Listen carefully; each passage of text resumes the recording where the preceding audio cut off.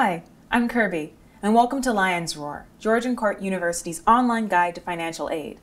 If you've been following along so far, you know how to get through most of the free application for federal student aid, or FAFSA. But there's one section that can look more complicated than it really is. The FAFSA needs all sorts of tax information from students and parents to help determine how much aid students are eligible for. But tax forms can be confusing and complicated, and this is not someplace you want to make a mistake. Fortunately, there's a way to automatically answer most of the FAFSA's questions about your taxes. It's called the IRS Data Retrieval Tool, or DRT. Only 30% of the people who could use the DRT actually do, and it could save you a lot of time and aggravation. Not everyone can use the DRT, though. At the beginning of the financial information section, you'll answer a few questions to see if it will work for you. The first question is Have you filed a tax return for this year? The DRT pulls data from your tax return that the IRS has on file, so if you haven't filed a return, you're out of luck. Sorry. The next question is about your filing status. Are you single or married filing jointly? You can use the DRT. If you're married but filing separately from your spouse or filing as a head of household, you can't use the DRT. The last question is about what kind of return you file. Are you filing a Puerto Rican tax return, a foreign tax return, or amending your tax return with the 1040X form? If any of these apply to you, you can't use a DRT. Remember, the FAFSA needs this information from both parents and students. It might be that one of you can use the DRT and the other can't. For instance, if the student files a single but the parents are married and file separately, the student could use the DRT, but their parents could not.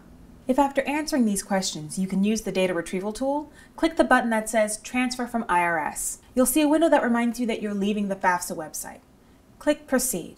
The next screen you'll see will be on the IRS end of the DRT. Fill out the filer's information. Make sure you know whether the FAFSA wants the student's or the parent's information. The name, social security number, address, and everything else must exactly match what's on the tax return. Once the system finds the return, it'll ask for your permission to transfer the information to the FAFSA. And voila! You'll see the next few questions on the FAFSA are already filled in with transferred from the IRS. Even though most of the questions have been taken care of, there are a few things that won't be transferred. You'll have to answer these questions manually. Make sure to read each one carefully so you know what is being asked. Most of the answers are things that wouldn't be on your tax return, like untaxed income.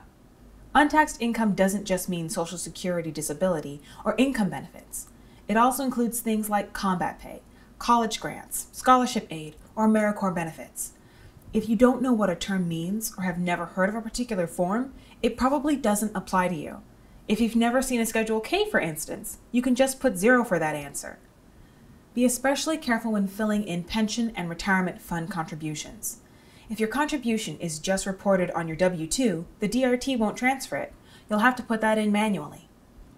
Things can get a little confusing with parent information, too. Parents are identified by their first initial and last name. So if your parents have the same initials, you'll want to check, say, their birth date to make sure you know who is being referred to. If your parents have the same initials, same birth date, same social security number, and are the same person, I don't know what to tell you. If you have any questions, our financial aid advisors are here to help. You can contact them at financialaid at georgian.edu. I hope the IRS data retrieval tool makes filling out the rest of the FAFSA a lot easier. We're not quite done yet, though. We need to make a way for you to identify yourself when you fill out the FAFSA again next year. It's called an FSA ID. Check out the video below to learn more.